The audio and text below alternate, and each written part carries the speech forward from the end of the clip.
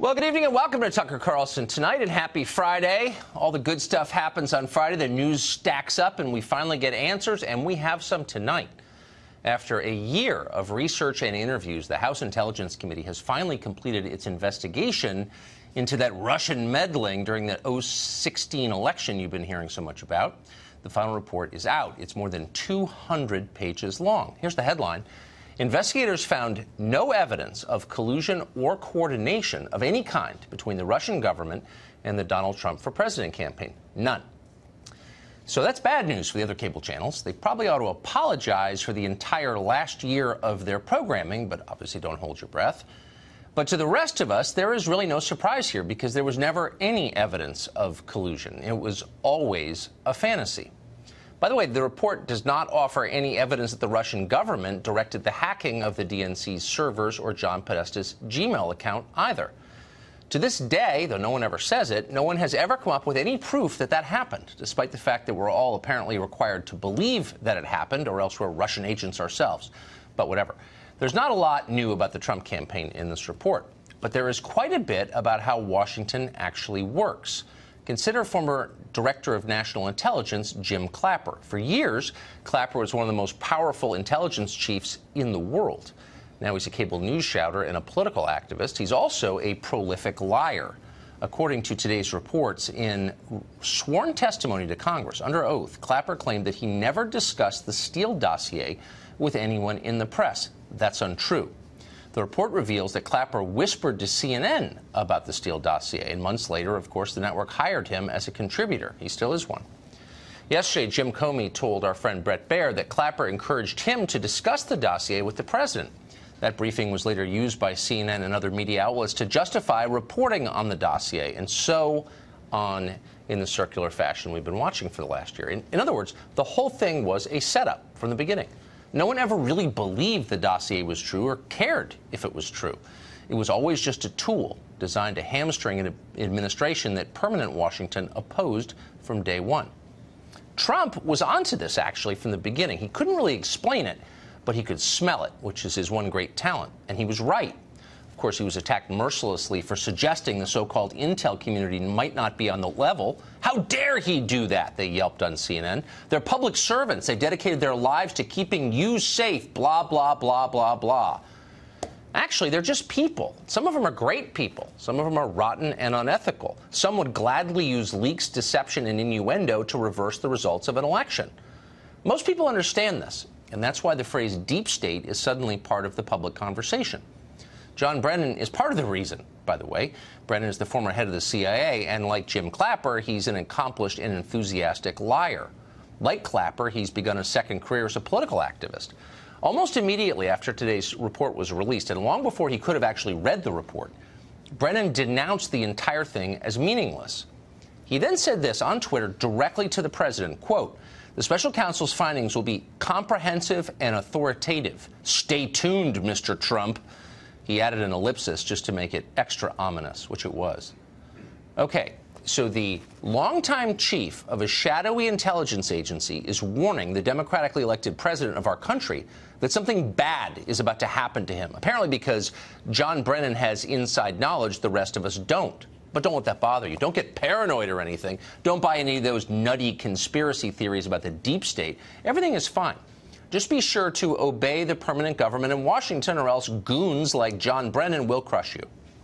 Terry Turchie is former Deputy Assistant Director of the FBI's Counterterrorism Division. Mollie Hemingway is a senior editor at The Federalist, and they both join us at the top of the show tonight. First to you, Mollie. What do you make of this? You read the report. What's the takeaway? Well, it is interesting. They found that after a year of rigorous investigation, there's no actual evidence of treasonous collusion between Trump and the Russian government. That's probably not very surprising. What they did show was that there's quite a lot of collusion at the highest levels of government to cook up and propagate a narrative of Russian collusion. We'd already learned from this committee about the FISA abuse at DOJ, where they used a research document bought and paid for secretly by Hillary Clinton and the Democratic National Committee to secure a wiretap on a Trump campaign affiliate. And then you picked up on this other thing that is interesting. James Clapper gave contradictory testimony under oath about what he was leaking to CNN. And that is interesting. The whole thing that got everything going was this briefing of President elect Trump, supposedly about the dossier. We later learned it was only about one salacious part of the dossier. Right. Uh, and this was highly placed. This was this was well sourced. Obviously, it went. It, it, looks like it went to Clapper or someone close to him. And learning that this was all done, that Comey was asked to brief President-elect Trump on this dossier, and that this was done because CNN needed a news hook in order to justify writing about a dossier. That is a very interesting detail to learn, and should put a lot of the coverage that we've seen for the last 15 months in entirely new light. Well, I mean, Terry, you, you spent a lot of your life working uh, for the federal government, a law enforcement agency that has intelligence components to it. The credibility of the agency is, I'm sure, important to you. It's important to me as, a, as an American citizen. None of this seems to help. I mean, if there's no collusion at the bottom of all of this, then all of this is starting to look very political, and that's bad for the way citizens feel about their government, isn't it? Absolutely. And when you look at this, the real dangerous part of this and the part that should scare every one of us, you just named them. The, the heads of the major intelligence and investigative agencies in the United States, the CIA, the FBI, the NSA, all of these people at the top appear to have had just one goal in mind, and that was to be anti Trump and to make trouble for him after he became the president. I think it's really interesting that all of this idea of unmasking, for example, didn't really start up until after he became elected. And I think that everybody thought, and I think Mollie and you and I would not even be sitting here today and talking had Hillary Clinton won the election and Donald Trump uh, lost. I think this whole thing about Russian collusion would have vanished somewhere. But really, uh, that was a shock to the system. And so something had to be done because uh, they, they had to make sure that they uh, they impugned Trump so that they could maybe be on the way to regain some sort of power again. I really think we have reached a point in, in America where we don't like to talk about this, and we weren't supposed to talk about it for years. But the Democratic Party is important. It's part of our two party system. But it has gone so far to the left that you're seeing all of these kinds of practices and things going on that make you think that maybe the Democratic Party is the party that has a real problem with uh, with people who have penetrated it. Maybe the Russians have, maybe the Cubans have, maybe the Chinese have. But there's a real there's a lot of indicators here that all of these arrows keep going back in that direction, and they're up to their eyeballs in uh, all of these things that we're told were, uh, were supposed to make Trump look bad and look like him, like he was colluding with the Russians, which, which is not the case. Right. Well, maybe they just don't believe in democracy, and so when the results don't don't go their way, they try to undermine them. I'm really bothered by this tweet in the in the larger behavior of John Brennan.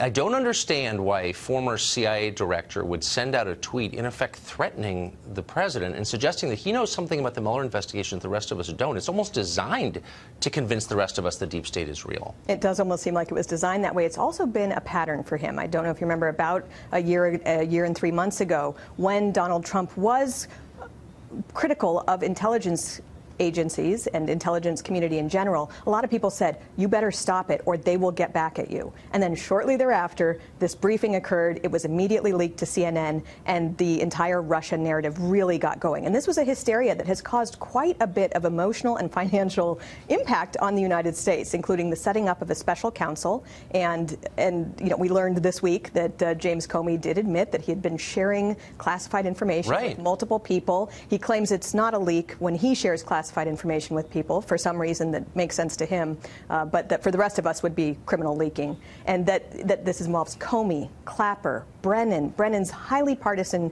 tweets and highly uh, threatening tweets. They're ominous. And then they leak the transcript of the president's conversations with foreign leaders. I, I just, Terry, want to end with you since, again, you've spent a lot of your life working at high levels of government. I, you don't seem like a conspiracy nut or a crazy person, just the opposite. I don't think that I am. But are you starting to think that there is a kind of loose conspiracy of intent among permanent bureaucrats in Washington? It seems that way. I think there is, and I think that unfortunately, a lot of the dogma and the ideology, Tucker, of the 1960s, where we were dealing with revolutionaries out in the street, I think a lot of that has now found its way inside government all these years later. And I know people are going to say, oh, wow, there's an old uh, communist chaser. But uh, that's what it looks like to me. It looks like the, the words that were used then are the words that are used now. People may not realize it, but if you look at the uh, prairie fire uh, yeah. Uh, ideology uh, uh, written by Bill Ayers and several other people back in the 1970s, the chief strategy to deal with infiltrating and then and then overthrowing eventually the United States government is called the resistance. And if you go into the detail of that 181 pages, if you really want to, uh, the words come back and have a real strong meaning and a real ring because they, they're everything we hear today fascism, racism, Native American injustice. I remember. all of these things are back and now they're back, but the people that are using them are in a political party. I think uh, behind the scenes, trying to do everything they can to convert us in, in the direction of socialism. And our baby- intelligence agencies that are, that are supposed to protect us seem to be part of that now. The baby boom took over, so none of this should surprise us. That, Terry, Mollie, thank you both very much.